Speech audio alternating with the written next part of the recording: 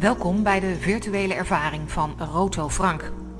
Hier willen we je graag onderdompelen in de wereld van de ramen en hun functionaliteit.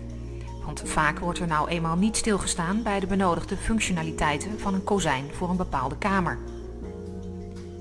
Voor we daarmee beginnen kun je het beste even rondbewegen om te wennen aan de 3D-omgeving. Als je er klaar voor bent, trek dan aan het virtuele touw.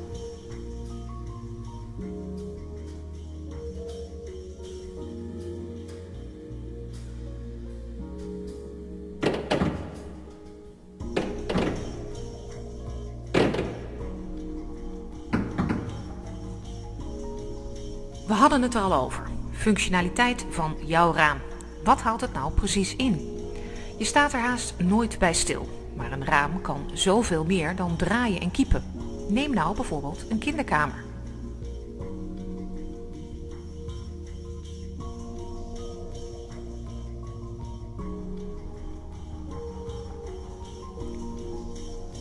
Als ouder ga je het nog vaak zeggen tegen je kinderen. Je moet het eerst meegemaakt hebben. Want laten we eerlijk zijn, ervaring zegt het allemaal. Bij het raam in de kamer van je kinderen is dat zeker ook zo. En verkijk je jezelf misschien wel op mogelijke situaties die er zich kunnen afspelen. Laat het kind maar eens in je opkomen en doe wat kinderen doen. Ga op ontdekking en kijk maar eens nieuwsgierig rond in de kamer. Pak je Lego blokken en gooi ze op je bed.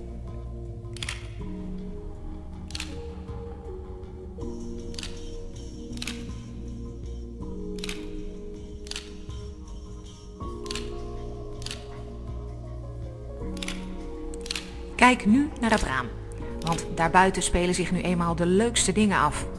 Vriendjes die buiten spelen, vliegtuigen hoog in de lucht of gewoon even wegdromen. Ga er dus maar snel naartoe en open het raam zoals een kind dat zomaar kan doen. Want wat speelt er zich nou op de stoep beneden af?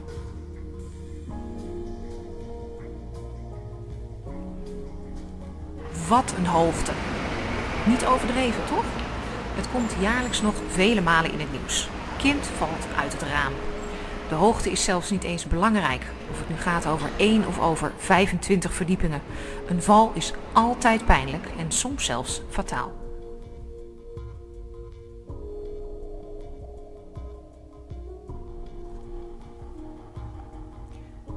Roto denkt mee met ouders die veiligheid op de kinderkamer belangrijk vinden. Met een simpele ingreep zorg je ervoor dat een drama als dit je nooit kan overkomen. Het Tilt First raam. Open het raam nu nog eens en voel dan het verschil.